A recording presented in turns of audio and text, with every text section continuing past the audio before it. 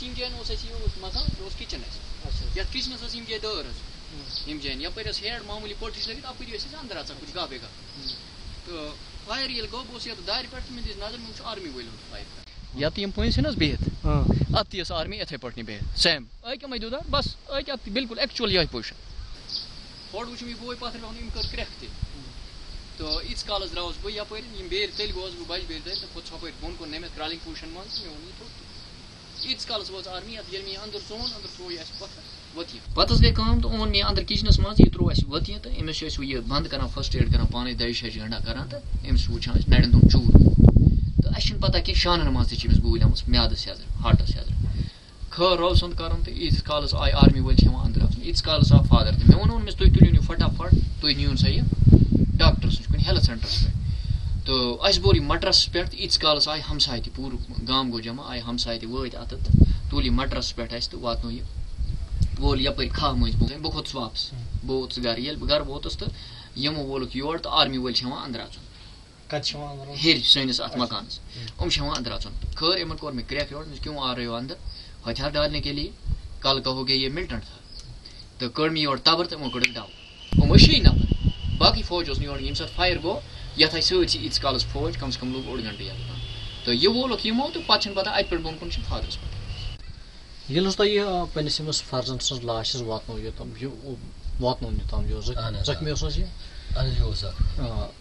तिम क्या गो तह कुत तिम पत जस कि कदी यु सड़क छ यु रोड हमेशा पेट हम कलमट पेट ओस या ता लगाय तो वत कलमटस तमत यपर असी वोल अतनिस फौज लगे एम ब्रोट तस फौज लगे वारिया फौज पतस येलस अत वत अत रुकय मो फौजो लोग क्या हो गया क्या हो गया इसको मिल्टनों ने मारा है किसने मारा है क्या हो गया फायर किसने किया? अस वो इवन अस दो मिल्टनों ने कोई फायर नहीं किया मिल्टन कोई नहीं आया। अलबत् ये आपके फौजी छः आदमी वहाँ पर अम्बुश लगा कर थे हमारे सहने के पीछे मकान के पीछे तो उन्होंने फायर किया इसको। तो वहाँ पर इनके फौजियों ने रुकाने की कोशिश की। तो हम रुके नहीं हम सीधे चले गए कोपाड़ा हम पहुँच गए अस्पताल में। अच्छा। वहाँ क्या हुआ? वहाँ पर जब अस्पताल में पहुँच गया वहाँ पर थोड़ा देर उन्होंने ऑक्सीजन लगाया।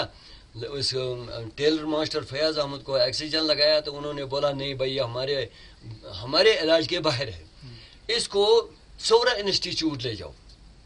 उधर से फिर उन्होंने अपनी गाड़ी दे दी अस्पताल की गाड़ी तो हम चल पड़े।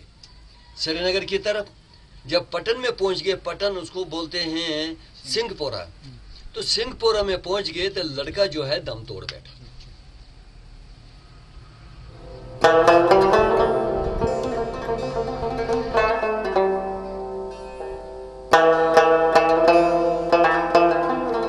सोरा गए हम।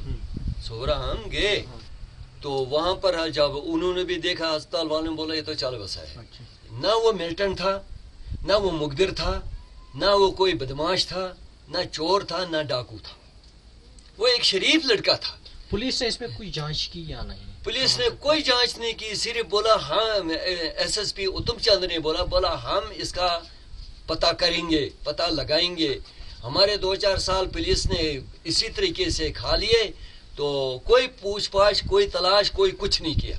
ये वक्त अर्धा आर आर वाले मोरू के बचे पत फैले दहशत ज़बरदस्त फालो आर्मी वाले पत गए मे ज़मीन यम बस इथे पे बेगुना रात दोल तो मारान सिमलन तम मूजूब क्या वीर चक्र ज़रूरत अहदुक ज़रूरत इन तनख्वाह हरान आम लोग मारन खतर इन दपान यम हसा दहशत गर्द तमे मूजूब तुलो मकान बनो तमे मूजूब चलिस ये मे ज़मीन पाँच कनाल तो बहुत पे बस तमनी मज कोर्ट इंक्वायरी में इन्होंने हमें वो छह फौजी दिखाए विदाउट बैलेट तो अगर उन्होंने फायरिंग नहीं की तो वो विदाउट बैलेट के इंक्वायरी में क्यों थे? कैसे आए? वो ऐसे आए कि उनके उनको बहुत कसूर था फायर उन्होंने किया है। और इंक्वायरी में उस समय इंक्वायरी में वही थे।